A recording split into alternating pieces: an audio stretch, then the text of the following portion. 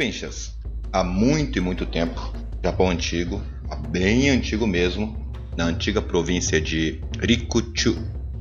Hoje não existe mais, é, corresponde à região da província de Iwate. Depois eu mostro para vocês no mapinha. Haviam os caçadores das montanhas, caçadores de ursos. No caso, dois caçadores que são, digamos, os protagonistas dessa história aqui, da lenda aqui. O Mandi, exímio caçador, caçador de ursos e outros animais mais daquele tempo. Ah, ele sempre entrava na floresta e sempre saía com caça. E o Bandi, os nomes são parecidos, viu? Mandi e Bandi. Que por mais que ele entrasse na floresta todos os dias, não era um bom. Não é que seja não fosse bom, ele era azarado. Não pegava nada. Não caçava nada. E tinha que suportar a tiração de sarro do outro caçador, o Mandi, que exibia as caças. Bem, Japão antigo, né, gente? Então a caça era normal, viu? Estamos falando lá pelo ano 1000 isso daqui. Assim que, certa feita, a caçador bom, baita caçador que sempre pegava suas presas, o Mandi, se preparou, se purificou com água e entrou na montanha com seus apetrechos, lança na época. E no meio do caminho ele encontrou uma coisa que naquele tempo era mogul. Ele encontrou uma mulher morada numa rocha, chorando, sofrendo. Assim que esse caçador fez menção de ignorar essa mulher quando ela falou com ele: Senhor, eu estou em trabalho de parto. Estou com muita sede. O senhor não poderia me ceder um pouco de água? No que esse caçador, extremo desdém e extremo desgosto, porque antes da caçada encontrar uma mulher nessas condições era azar, tremendo mau agouro, nem, nem dirigiu a voz a ela e praguejando desistiu da caçada e começou a descer a montanha, indo embora. Canalha. Até para aquele tempo, ele era um canalha. Por sua vez, naquele mesmo dia, Bundy caçador não pegava nada, chegou naquele mesmo local e encontrou essa mulher sofrendo. E eis que imediatamente ele foi lá: A senhora está bem? O que aconteceu? E ela explicou a mesma coisa: Estou em trabalho de parto, estou morrendo de sede. O senhor não tem um pouco de água para me dar? No que Bundy, o caçador ruim, desceu o mais rápido que pôde até a nascente, pegou um pedaço de bambu, encheu d'água e voltou correndo. Para espanto dele, porque lá chegando, eis que ele. Cara, a mulher já havia parido. Mas não um bebê. Havia parido 12 bebês, 12 crianças. Bundy ficou extremamente perturbado, mas entregou a água para essa mulher.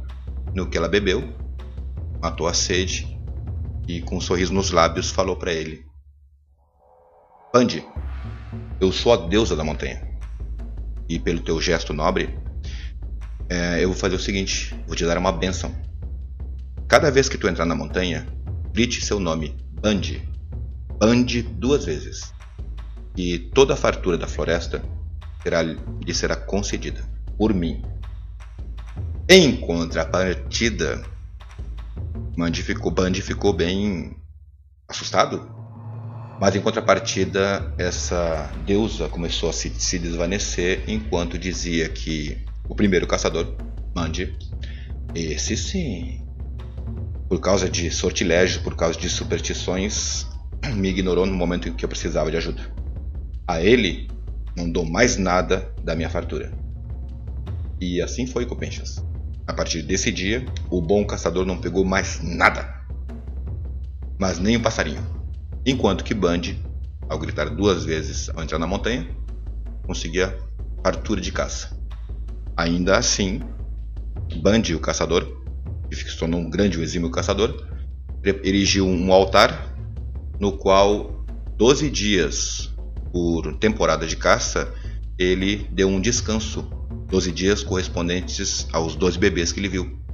Erigiu esse altar E esses 12 dias ele colocou como descanso total, onde ele não entrava na montanha, no qual mais tarde se alastrou para que todos os caçadores não entrassem na montanha durante 12 dias.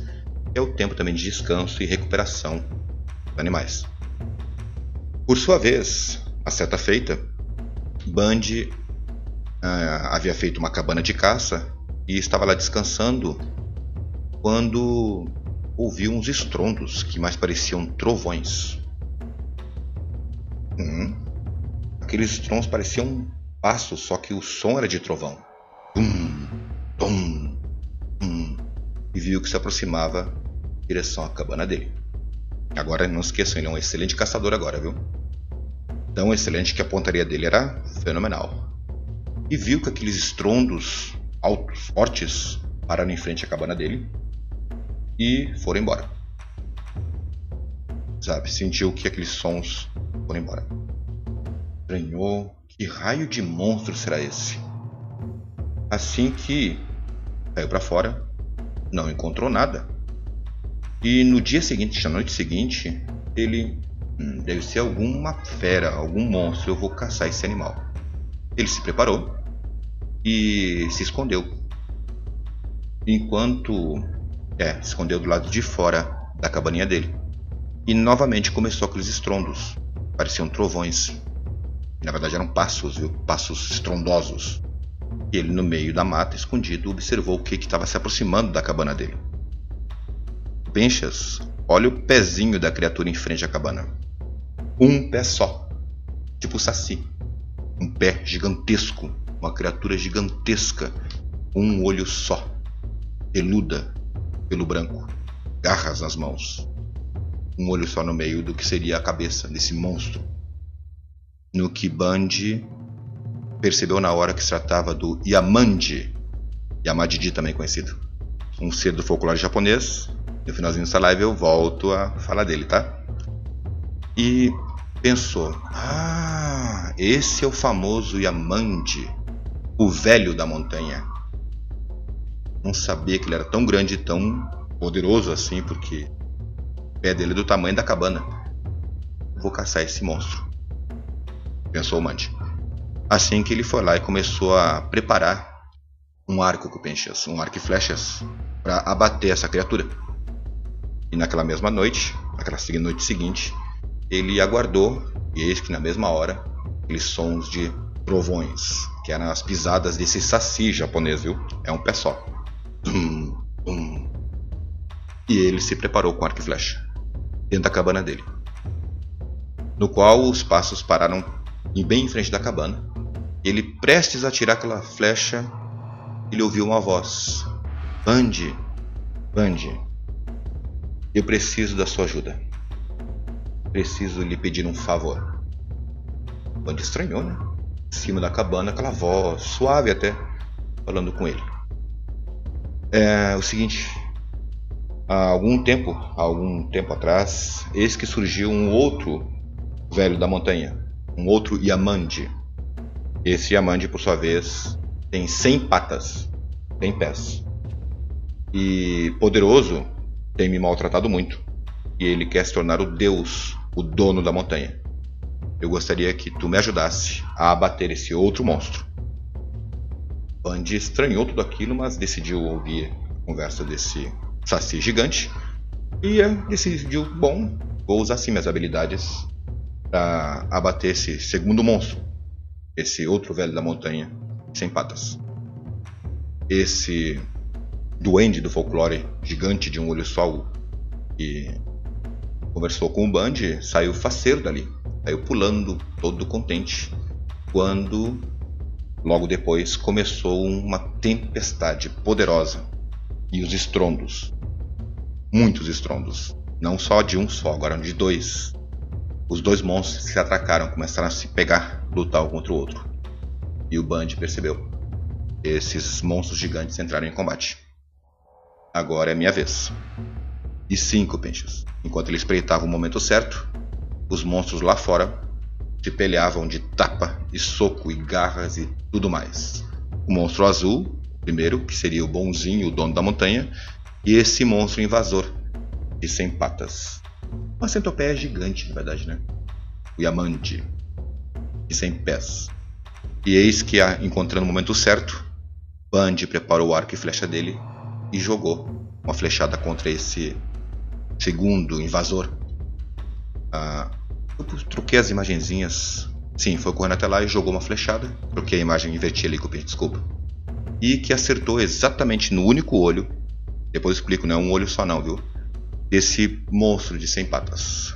No que ele caiu e resolvida essa situação. O monstro morreu.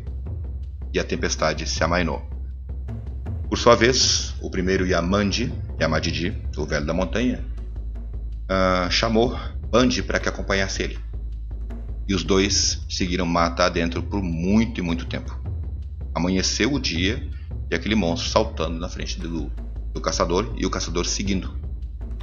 Até que chegaram a um local, uma gruta, uma caverna, e ficou conhecida na lenda como Caverna Bandi, no qual, ao adentrar essa caverna, do outro lado havia uma floresta, uma floresta de kiri japonês, no qual Bandi, o caçador, usou a madeira dessa floresta e por mais que ele removesse as árvores, é, a madeira dessas árvores, essas árvores nunca acabavam e que floresciam uma vez por ano.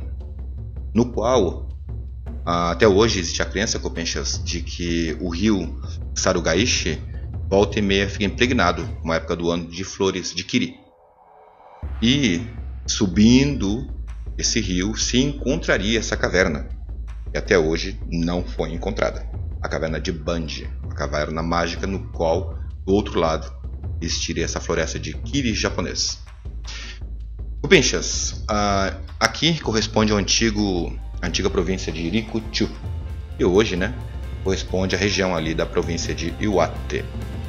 Uh, por sua vez, o Sarugaishi River, o rio Sarugaishi, esse que aparece na imagem, é o que fica repleto de flores, mas não especificamente dessa caverna, e sim das flores de kiri japonês que tem na sua quase em toda sua extensão. Por sua vez, Copinchas, o kiri japonês é o Paulonia tomentosa, kiri ou kiri japonês, árvore nativa do Japão, tem aqui no Brasil para paisagismo, dá umas florzinhas cor-de-rosas ou roxinhas muito bonitas.